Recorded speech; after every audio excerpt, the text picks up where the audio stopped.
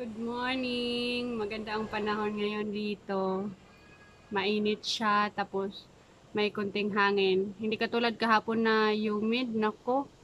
Uh, mainit siya, tapos walang hangin, napaka-humid talaga. Mm -mm. Ano, ngayon, uh, plano ko sana magpunta ng bayan para mag-grocery. Meron akong mga stuffs na wala dito sa bahay kaya punta sana akong bayan ngayon. Tapos, uh, kahapon ko pa pinaplano na magpunta akong City Hall para magkuha ng yung require nila pag uh, lalabas ka ng kasi dito ano dito may paglalabas ka ng kasunod na barangay uh, hinihingan ka nila ng travel pass oo tapos kukunin yun sa City Hall kaya kahapon pinaplano ko na ngayon ko, ngayon ako magpuntang bayan para magkuha nun. Yun pala. Naalala ko, Sabado pala kahapon, tas linggo ngayon. Oo, hindi ko naisip na, oh my gosh, walang, uh, walang ano, uh, opisina pala sa City Hall ngayon. Oo, kasi gusto namin magkuha ng ganyan, ng travel pass, kasi nandito si mama ko sa Palawan, nakabakasyon siya. Tapos gusto ko na bago man lang siya makauwi, halimbawa makauwi na, uh, gusto ko ipasyal siya sa magandang mga tanawin dito, mga sceneries, like uh, beaches, oo. Kaya lang masyado siyang mahal. Pero, uh, for at least one time na makakita si mama ng white sand kasi for all her life, uh, she doesn't experience seeing these uh, beautiful sceneries like uh, uh, powdery white sand and uh, yung magagandang tanawin ng mga bundok-bundok, mga falls, ganyan. Kasi marami yan dito eh.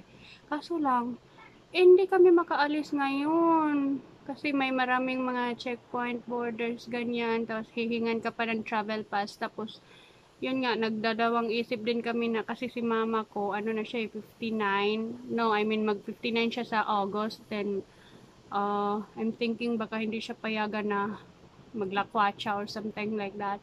So, ano, mm, pero subukan lang din namin. Siguro bukas na lang kami magapuntang bayan. Uh, at the same time, uh, getting this uh, travel pass and grocery. Then, subukan namin makakuha ng ganon. Tapos, subukan din namin mag tawid sa ibang barangay. Kung, halimbawang makatawid naman kami, di, lucky. Oo, kasi gusto ko mapasyal si mama ng... Kasi nung wala pang COVID, dito na si mama, hindi ko rin siya mapasyal, pasyal. Kasi nga, busy ako sa pag-asikaso ng bisita. Kasi, oh my gosh, ano, halos lahat ng araw may bisita kami. Tapos halimbawa, merong isang araw na wala kaming bisita.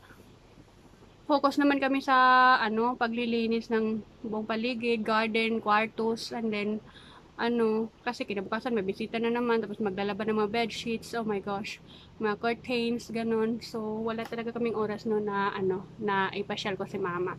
Tapos ngayon sana, eh, kaso, pasensya na guys, ang init ito.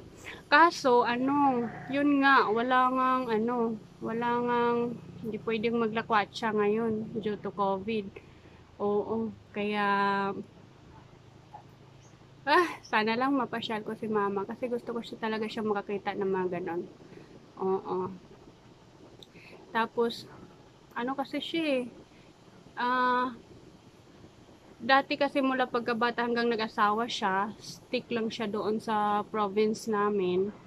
Oo, hindi siya naka, well, nakaalis-alis siya pero may kasama siya, tapos, ano, sandali lang din. Tapos, malapitan lang din na, ano, ng barangays, or ganyan, oo. Kaya gusto ko ma-experience naman niya yung, uh, going on the beach, like that. Oo. Kaya, sana merong ano, merong